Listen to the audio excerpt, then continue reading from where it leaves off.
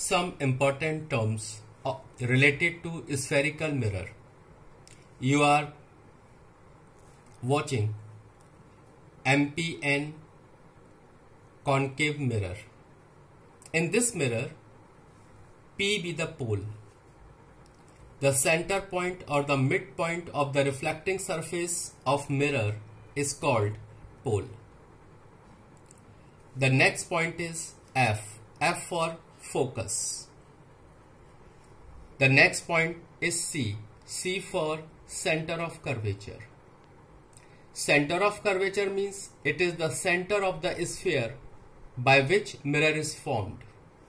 Suppose by this hollow glass sphere your concave mirror is formed then the center of this hollow sphere is called center of curvature.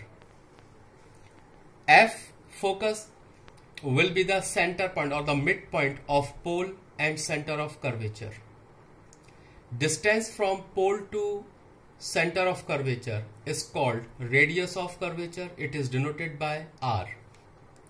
Distance from pole to focus is known as focal length denoted by small f.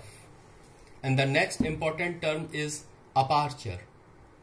Aperture means the space from which light rays can enter and falls on reflecting surface. Now the next topic is properties of image formed by plane mirror.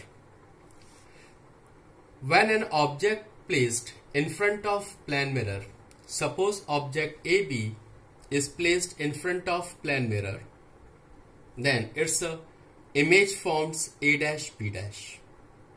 Now the nature of image will be number 1 Plane mirror forms erect and virtual image. Image forms erect. Second point, the distance of object from the plane mirror is just equal to the distance of image of the from the plane mirror means both the distance will be equal.